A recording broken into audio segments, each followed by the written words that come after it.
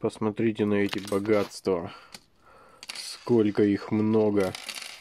Из каждого диода можно сделать один детекторный приемник. Только эти детекторные приемники работать не будут, потому что нету средневолновых станций мощных, амплитудно модулированных. Посмотрите сколько. Ой, тут можно радиофицировать целый город с помощью детекторных приемников. Но у меня есть некоторые идеи, как решить этот вопрос. На моем канале вышло видео, в котором я рассказываю об очередных амбициозных планах. А еще я заболел. У меня температура и вообще в целом себя паршиво чувствую. Но это мне не помешало записать вам регулярное видео без монтажа. 10 минут меня можно смотреть. Переходите на канал, там все будет. Я вас